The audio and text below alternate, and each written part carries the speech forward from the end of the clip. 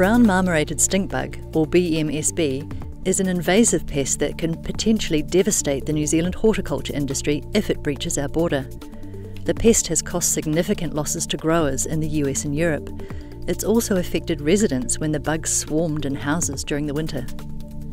Plant and Food Research is pioneering a three year project on optimising biocontrol research for BMSB for kiwifruit, which is part of our preemptive biocontrol research for the pest. It's a Zespri funded collaboration with CABI China, an international research organisation with extensive knowledge of this pest. Because BMSB is not established in New Zealand yet, our scientists took their project to China, the home of the bug where CABI is doing most of their research. Plant and Food Research entomologist Dr. Gonzalo Avila has been working with Chinese and international partners to learn more about this bug and its potential effects on kiwifruit. This knowledge ensures that New Zealand is well prepared for the worst case scenario that is, the arrival and establishment of BMSB. We can see uh, all the impacts that BMSB can have on the kiwifruit orchard.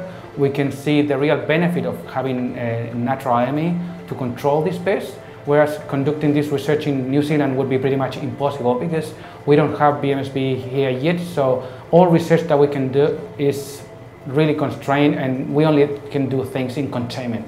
Uh, working with, with CABI has been great. They are the leaders on the research that is being conducted worldwide on, on this uh, pest parasitoid system. So we've been learning a lot from them and we, you know, we can't be doing this research in, with a better collaborator. So if BMSB is native to China, why isn't it a huge problem to the crops over there? It turns out BMSB has a number of natural enemies. Samurai wasp is one of them, it's believed to be the most effective or promising biocontrol agent of BMSB.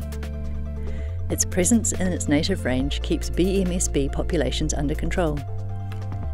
In 2018, the New Zealand Environmental Protection Authority pre approved the release of imported samurai wasp in New Zealand in case of a BMSB incursion. Studies conducted in China has shown that this parasitoid is the most abundant parasitoid recovered from BMSB. Uh, over 70% of the recoveries have been shown to be the Samurai wasp Trissolcus japonicus. And also in the field, uh, this parasitoid has shown to be really high parasitism rates, which are between 70 and 80%. With the success of our current preemptive biocontrol efforts, we now have the tools to start preemptive biocontrol programs for other serious invasive pests, such as spotted lanternfly and spotted winged Drosophila. Like BMSB, these two species are native to China and causing huge problems after being introduced overseas, which makes our experience in China particularly valuable should we need to respond to an incursion.